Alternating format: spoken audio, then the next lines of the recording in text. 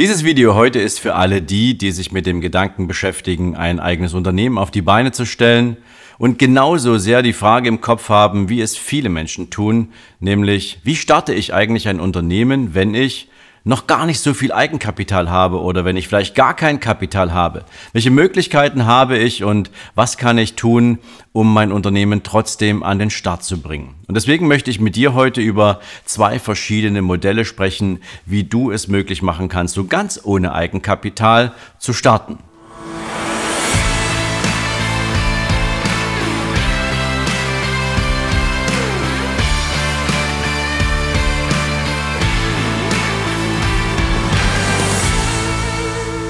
Eine Sache ist natürlich vorher ganz wichtig zu klären, denn wenn du nicht genau weißt, ob ein eigenes Unternehmen für dich richtig und sinnvoll ist, dann solltest du gar nicht erst anfangen.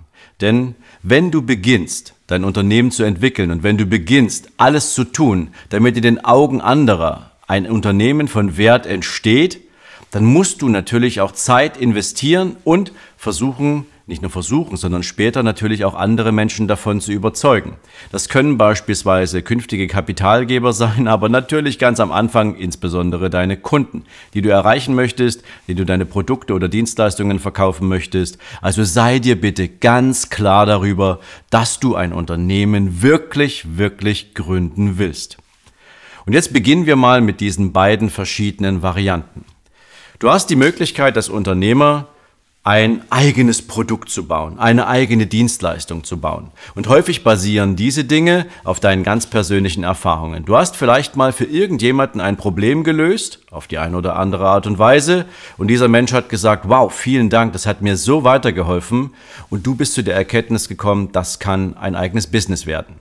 Und wenn es ein eigenes Business werden kann, dann ist es natürlich jetzt erforderlich, dass du alle Hausaufgaben zunächst erst einmal machst, die dir Klarheit darüber verschaffen, ob dieses Produkt oder diese Dienstleistung tatsächlich einen Markt findet.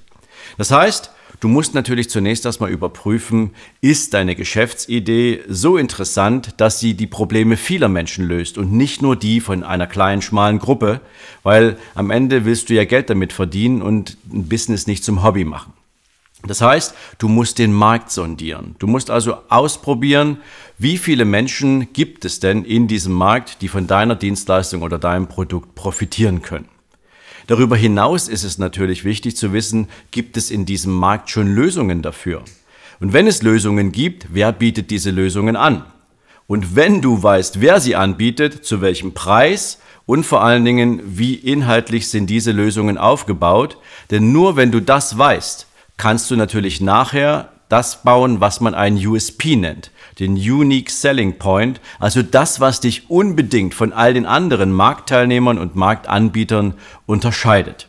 Diese Hausaufgaben musst du machen, damit du weißt, in welchem Markt du dich eigentlich bewegst, mit deinem eigenen Produkt und mit deiner eigenen Dienstleistung. Darüber hinaus ist es natürlich auch wichtig herauszufinden, wo befindet sich deine Zielgruppe? Wo fragt deine Zielgruppe diese Produkte oder Dienstleistungen grundsätzlich nach? Sind es eher Internetplattformen? Ist es Amazon? Oder ist es ein Ladenlokal?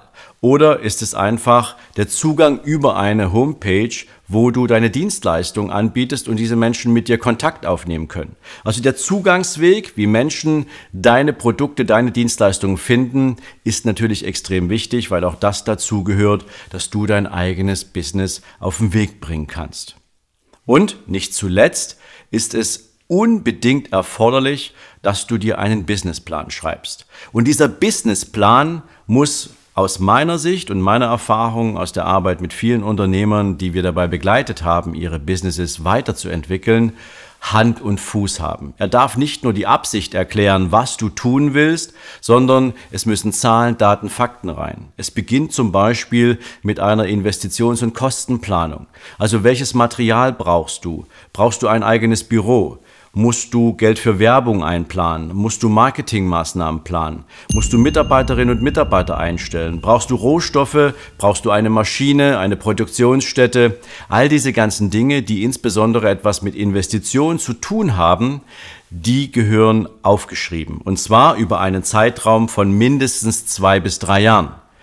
Der Businessplan selber sollte eher fünf Jahre umfassen, auch wenn du beispielsweise später in einem Gespräch mit Investoren diese Zahlen gar nicht valide belegen musst, weil die meisten trotzdem nur auf drei Jahre schauen, aber es zeigt, wie professionell du dein Business planst.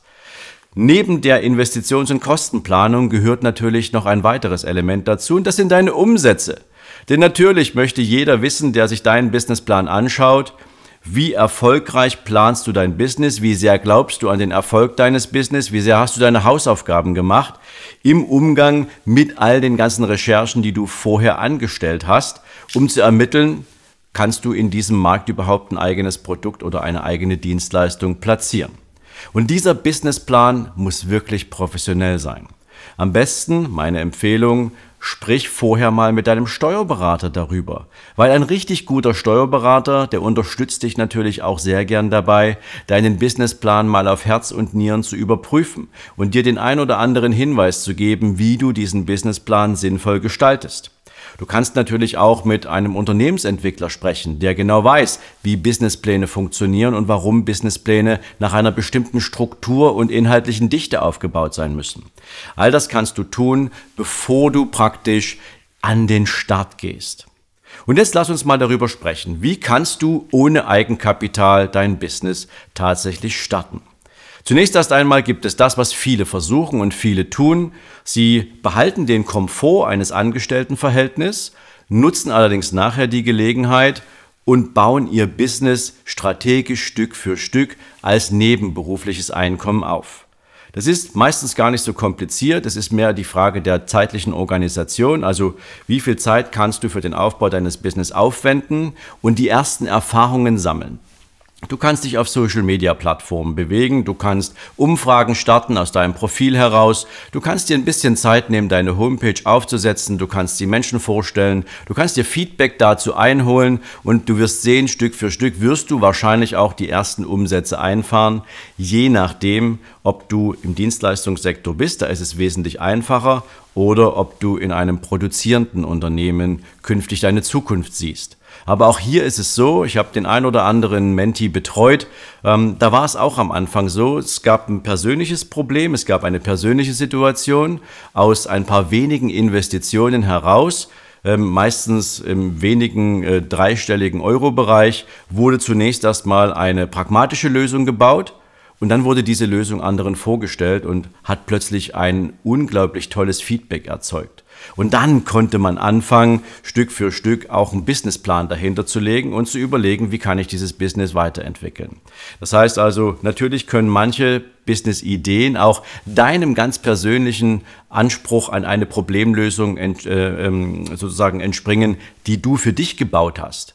Aber eine Sache ist wichtig, die sage ich meinen Mentis auch immer wieder, verlieb dich bitte nicht in dein eigenes Produkt. Sei bitte nicht dein eigener bester Kunde. Mach also alle Hausaufgaben, die dir sagen, gibt es neben mir noch viele, viele andere, die von dieser Lösung profitieren würden.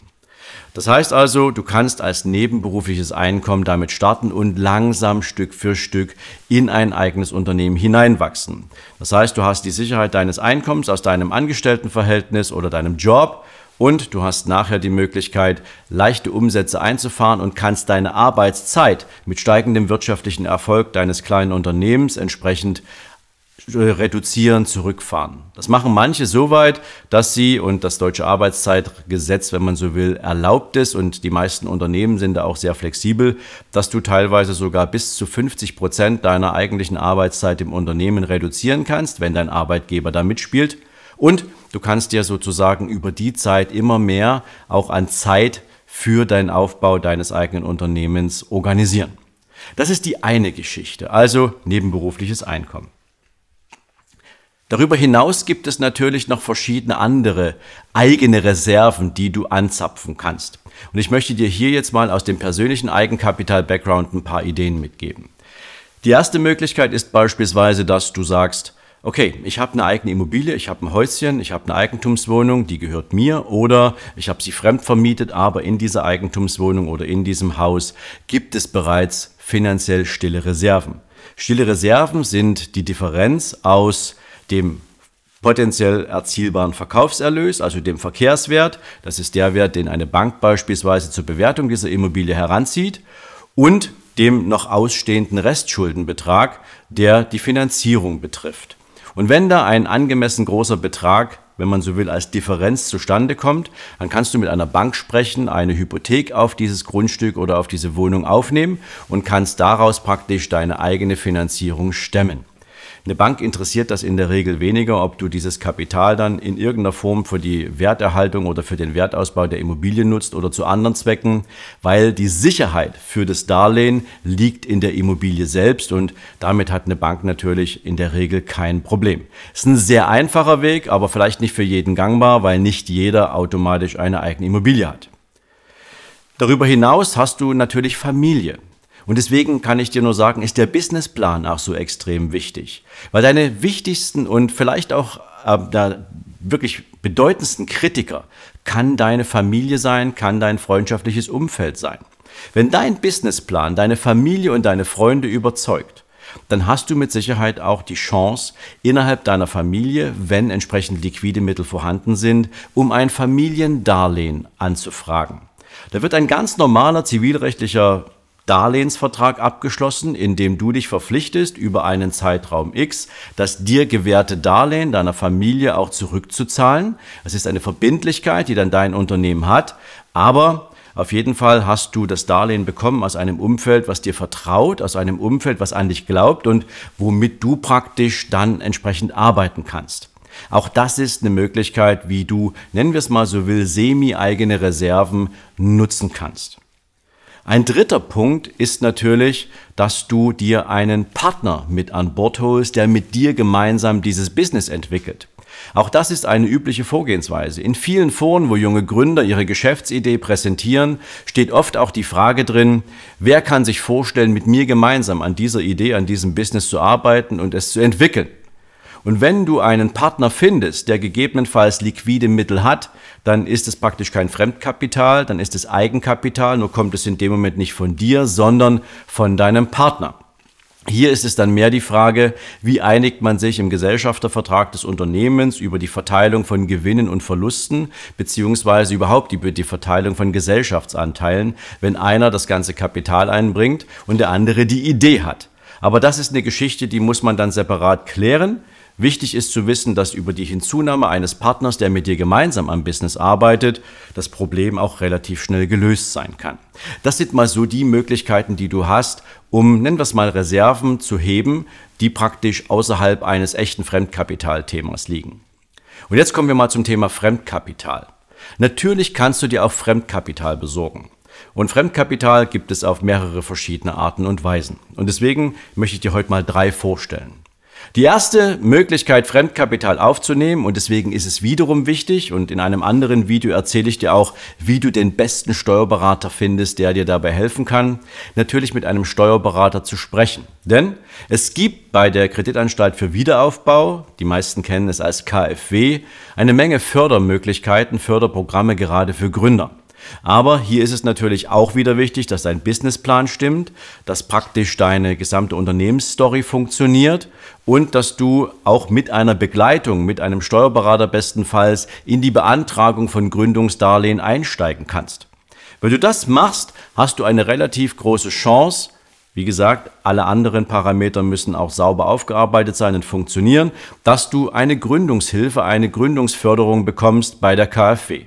Das ist ein relativ einfacher Zugangsweg, weil dafür stehen Fördertöpfe in Größenordnungen bereit, wo du davon partizipieren kannst. Das ist so ein Weg. Ein zweiter Weg ist beispielsweise das Thema Crowdfunding.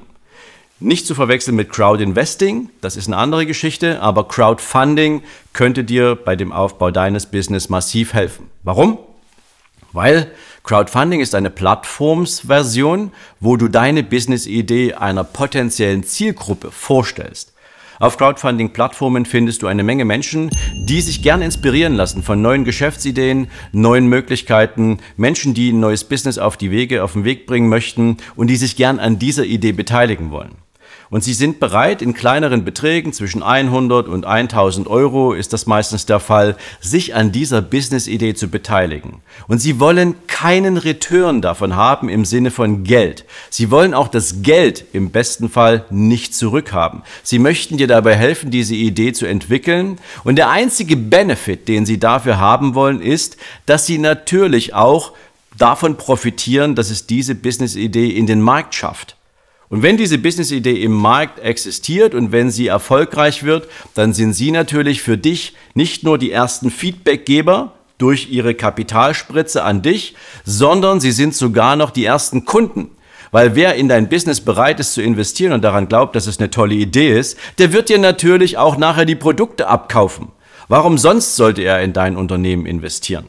Also Crowdfunding, ein wirklich, wirklich tolles äh, ja, Geschäftsmodell, eine wirklich tolle Idee, wie du dir Fremdkapital von einer breiten Crowd, von einer Masse für die Entwicklung deines eigenen Unternehmens besorgen kannst. Ja, und der dritte Punkt, die dritte Idee ist das Thema Business Angels. Hier ist es allerdings so, dass das meistens eine Investorengemeinschaft ist oder dass es große Privatinvestoren sind, die genau hinschauen, was für eine Art von Business soll da entstehen. Die nehmen nicht jedes Business, aber sie sind natürlich als Mentor und als Coach mit dem finanziellen Background bereit, dir bei der Entwicklung deines Business zu helfen. Aber hier ist es natürlich wichtig, schau dir mal die Höhle der Löwen an. Wenn du dieses Format noch nicht kennst oder falls du es kennst, dann schau mal genau hin. Praktisch sind all die Juroren, die dort in dieser Fernsehsendung darüber entscheiden, ob sie bereit sind, in ein Unternehmen zu investieren, nichts anderes als Business Angels. Sie entwickeln das Unternehmen als Investor mit dem Unternehmensgründer gemeinsam weiter. Aber sie wollen natürlich dafür auch einen Teil vom Kuchen haben. Entweder in Form von einer Beteiligung, oder vielleicht sogar in Form eines Mitspracherechts. Und dann musst du aufpassen, dass natürlich die Idee weiterhin dir gehört und nicht plötzlich stillschweigend an einen Business Angel beziehungsweise an einen Investor übergeht. Weil das ist natürlich das, was viele Unternehmen killt, wenn sie eine, einen größeren Teil ihrer Anteile abgeben, meistens mehr als 50 Prozent, dann sind sie nicht mehr wirklich Eigentümer des Unternehmens, dann gilt der Mehrheitsbeschluss und wenn der größer als 50 Prozent bei, mit den Anteilen bei dem Investor liegt, dann hast du irgendwann in deinem Unternehmen nichts mehr zu sagen. Aber das ist eine andere Geschichte. Das sind die drei Möglichkeiten, wie du dir Fremdkapital besorgen kannst. Du siehst also, es gibt definitiv eine Menge Möglichkeiten, wie du ohne eigenes Kapital ein Unternehmen aufbauen kannst, wenn es ein eigenes Produkt oder eine eigene Dienstleistung werden soll. Jetzt schauen wir mal auf eine zweite Seite, nämlich, was ist, wenn du gar kein eigenes Produkt hast? Was ist, wenn du gar keine eigene Dienstleistung hast, sondern wenn du einfach nur den tiefen Drang verspürst, etwas selbstständig zu machen? Unabhängig davon zu sein, dass dir ein Arbeitgeber sagt, was du tun sollst oder dass dir dein Chef permanent mit seinen Zielen in den Ohren liegt, die vielleicht schon längst nicht mehr deine Ziele sind. Und hier bieten sich verschiedene Geschäftsmodelle an, die ich dir jetzt kurz vorstelle. Das eine ist beispielsweise das Thema ja, Network Marketing. Du hast von Network Marketing wahrscheinlich schon viel gehört. Vielleicht bist du auch schon mal in Kontakt gekommen mit Menschen, die in diesem Business unterwegs sind.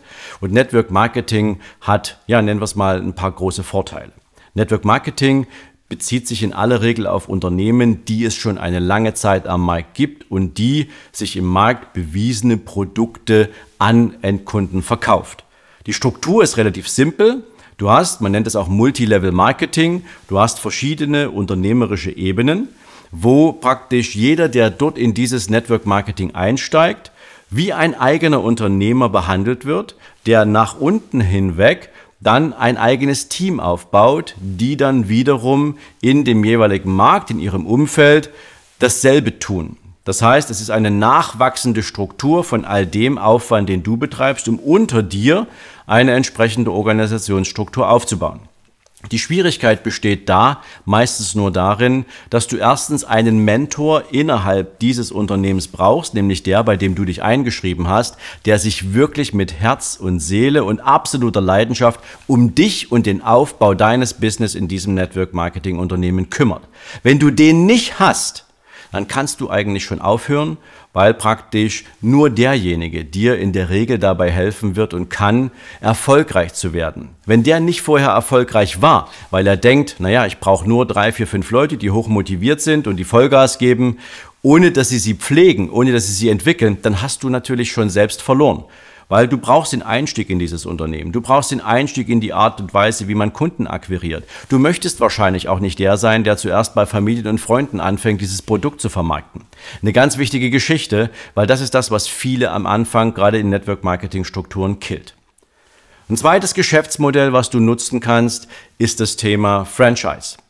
Franchise sind praktisch fertige Unternehmensstrukturen, die an jedem Platz der Welt auf die gleiche Art und Weise funktionieren und wo du praktisch diese Strukturen nimmst, an deinem Standort implementierst und dann nach dem kompletten Regelwerk des Unternehmens dieses Business führst. Zwei Beispiele, die du wahrscheinlich kennst, ist McDonald's und Starbucks. Beides sind Unternehmen, die ein komplettes Franchise-Konzept entwickelt haben. Jedes, du, du findest praktisch dieselbe, dasselbe Sortiment, dieselben Produkte, dieselben Waren in jedem Starbucks weltweit. Das ist alles straff organisiert. Du findest dieselben Kaffeemaschinen bei Starbucks, du findest dieselben Kücheneinrichtungen bei McDonald's, du findest dieselben Klamotten in den Läden, wie die Leute angezogen sind, du findest dieselben Produkte, du findest alles gleich überall auf dieser Welt. Und warum ist das so? Weil dieses Franchise funktioniert. Das heißt, jemand anderes, ein großes Backoffice, übernimmt für dich die gesamte Planung von Werbung, von Marketing, mit allem, was dazugehört. Du musst halt nur dafür sorgen, dass vor Ort dein Standort funktioniert. Aber dann bedienst du praktisch ein Unternehmen, was dir die unternehmerische Freiheit vor Ort gewährt. Sie stellen dir alles zur Verfügung, was du brauchst. Du musst halt dann umsetzen. Bist allerdings frei in deiner unternehmerischen Arbeit, wie viel Zeit du investierst, wie viele Mitarbeiter du einstellst und so weiter und so fort. Das ist Franchise. Und es gibt eine dritte Variante, die wird nicht so häufig genutzt, weil sie meistens an Patente geknüpft ist, wo du beispielsweise die Nutzung von Lizenzen die Unternehmen bereit sind auszugeben für die Vermarktung von Produkten, für dich nutzen kannst. Du wirst dann halt ein Lizenznehmer. Ein viertes Themenfeld ist das Thema Affiliate Marketing. Allerdings muss man bei Affiliate Marketing genau darauf achten, was man tut. Affiliate Marketing ist nichts anderes, als dass du die Produkte von Menschen, die ja ihre Produkte für den Markt bereitstellen, an andere Menschen empfiehlst, wo du glaubst, dass sie davon profitieren können und diese Produkte, wenn sie dann verkauft werden, bei dir eine Provisionszahlung abwerfen. Allerdings muss man wissen, Affiliate Marketing ist am Anfang gerade mit unglaublich viel Aufwand verbunden, weil du natürlich zunächst erstmal ein Netzwerk entwickeln musst, was dir überhaupt erstmal Produkte abkauft. Dafür musst du Vertrauen schaffen bei den Leuten und das ist das, was vielen Startern im Bereich von Affiliate Marketing schwerfällt weil sie fliegen relativ schnell aus der Kurve, aus dem einfachen Grund, weil sie beispielsweise in Facebook oder in Instagram oder in LinkedIn wahllos irgendwelche Produkte von Dritten, die sie bei Digistore gefunden haben, in irgendwelche Gruppenchats reinwerfen, ohne Sinn und Verstand sich damit als Person verbrennen und denken, dass sie müssten nur einen Link posten, dann haben sie automatisch auch wirtschaftlichen Erfolg, ähm, dass sie sich damit natürlich auch bei dem Affiliate-Geber verbrennen, weil dessen Produkte am Ende des Tages die falsche Zielgruppe treffen. Das ist mal so ein kleines Universum von Möglichkeiten, wenn du kein eigenes Produkt hast, aber du gern unternehmerisch arbeiten möchtest. Was ist hier der große Vorteil? Du findest praktisch alles, was du zum Erfolgreichsein brauchst, einmal komplett vorgebaut. Du findest das komplette Produkt, darum musst du dich nicht kümmern. Du hast den kompletten Absatzweg, um den musst du dich nicht kümmern. Du hast die komplette Abrechnung, um die musst du dich nicht kümmern. Du hast keine Entwicklungskosten, du hast in der Regel keine Marketingkosten, du hast auch keinen Stress mit, ja, nennen wir es mal, verschiedenen infrastrukturellen Themen, Zahlungsströme und so weiter und so fort. Die gesamte Struktur hat das Unternehmen, für das du das machen möchtest, einmal komplett für dich zusammengestellt. Und dein einziger Job ist, zu verkaufen. Das ist deine Aufgabe, wenn du ein anderes Produkt nutzt, was nicht dein eigenes ist. Und wenn du dir dieses Universum einmal anschaust, dann siehst du, in diesen beiden Segmenten brauchst du praktisch nicht zwingend eigenes Kapital, wenn du und dann gehen wir zurück an den Anfang, die feste Überzeugung hast, dass ein eigenes Business für dich die richtige Wahl ist. Weil dann bist du bereit, all den Aufwand zu betreiben, der erforderlich ist, um ein Business erfolgreich zu machen. Und dann ist es am Ende des Tages auch nicht wirklich wichtig, ob du dir die Mühe machen musst, ein eigenes Produkt zu entwickeln oder ob du die Möglichkeit nutzt, die Produkte anderer Unternehmen für eine geeignete Zielgruppe zu verkaufen. Ich hoffe, ich konnte damit einiges für dich klar machen, aber gerade das, was Gründer am Anfang oft falsch machen, ähm, ist natürlich auch etwas, was dafür sorgt, dass sie eben relativ schnell auch wieder aufgeben, weil sie ihre Hausaufgaben nicht gemacht haben. Deswegen diese Folge für dich. Falls du mehr wissen möchtest und herausfinden willst, ob das alles für dich ein richtiger Weg ist, dann lade ich dich natürlich auch herzlich ein am 11. und 12. September zu unserem Unternehmeroffensive-Event in Frankfurt. Da bekommst du noch viel, viel mehr, was es braucht, um ein Unternehmen erfolgreich aufzusetzen. Ich habe dir gerade das Thema Steuerberater genannt. Steuerberater sind die wichtigsten die wichtigsten Begleiter, gerade am Anfang deines unternehmerischen Weges. Da lernst du unglaublich viel, noch so viel mehr. Wir packen dir natürlich gern hier auch mal einen Infolink mit in diese, in die Kommentare. Aber dieses Video war zunächst erstmal dafür gedacht, um dir dabei zu helfen, wenn du ein eigenes Unternehmen bauen willst, nicht ängstlich zu sein, wenn du gar kein Eigenkapital besitzt oder vielleicht nur wenig. In diesem Sinne wünsche ich dir bei allen Gedanken, die du dir darum machst, viel Erfolg, vielleicht sehen wir uns im nächsten Video. Natürlich musst du dafür den Kanal abonnieren und die Glocke betätigen, nicht vergessen. Ich wünsche dir jetzt einen großartigen Tag und wir sehen uns. Bis dann. Ciao, ciao.